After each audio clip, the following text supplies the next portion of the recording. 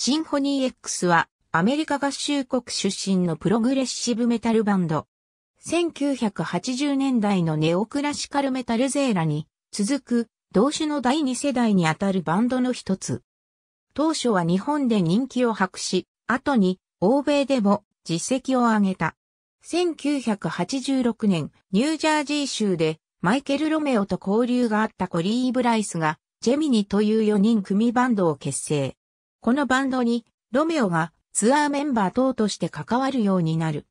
1989年、ブライスは新たなバンドの結成に着手、ロメオが正式なギタリストとして参加したのを含め、同年秋にメンバーが決定。1991年春にアルバムを完成させた時点でバンド名をファントム、S オペラに解消した。その後バンドのメンバーの間に確執が生まれ、ロメオとジャック・ヤングを除く3人が脱退。ロメオはファントム、S オペラを再編しながら活動を継続し、並行してソロアルバム、ダークチャプターを制作。これが契機となり1994年に、ロッド・タイラー、マイケル・ピネーラ、トーマス・ミラー、ジェイソン・ルローの編成で、新たにシンフォニー X を結成する。同年、バンドと同名のデビューアルバム、シンフォニー X をリリース。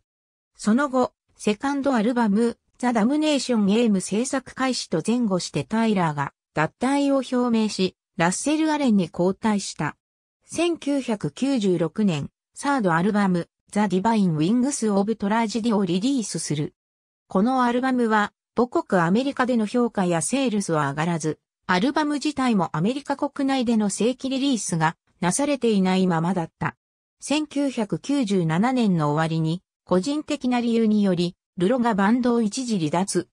バンドはサポートとして、トーマス・ウォーリングを迎えてのホースアルバム、トワイライト・イン・オリンポスをリリースし、1998年6月に初来日公演を再興。その後、ワールドツアーを行う。これと前後して、レーベルがゼロコーポレーションからインサイドアウトミュージックに変わり、母国アメリカでも配給可能となった。同年、インサイドアウトレーベルからの第一弾として、ベストアルバム、プレリュード・トゥ・ザ・ミレニアムをリリース。このアルバムには、ファーストアルバム、シンフォニー X に収録されていた楽曲、マスカレードがアレンのボーカルで再録されたことが話題となったが、同じく1998年にミラーからマイケル・レポンドへと交代している。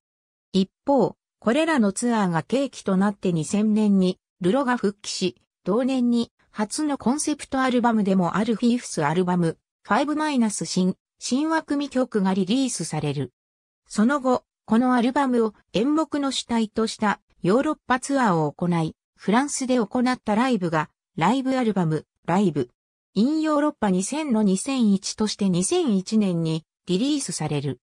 イタリアボローニャ公演2002年にはシックススアルバム、ジオデッセイをリリースしたが、その後は、ライブやメンバー各人の他バンドへのゲスト参加、ソロアルバムなど多方面に活動が展開されるようになったため、新作までの間隔はこれまでより長くなった。2005年にはメガデスとドリームシアターのダブルヘッドライナーのジャイギャンアに参加し、全米ツアーを行った。2007年、前作から4年半ぶりのセブンスアルバム、パラダイス・ロストをリリース、ジョン・ミルトンの女児詩、パラダイス・ロストを根本テーマとして扱っている。2011年には AS アルバム、アイコのクラストをリリース。2014年には10月19日のラウドパーク14出演による16年ぶりの来日公演を行う予定だったが、レコーディングスケジュールの都合によりキャンセルとなった。2015年にナインスアルバム、アンダーワールドをリリース。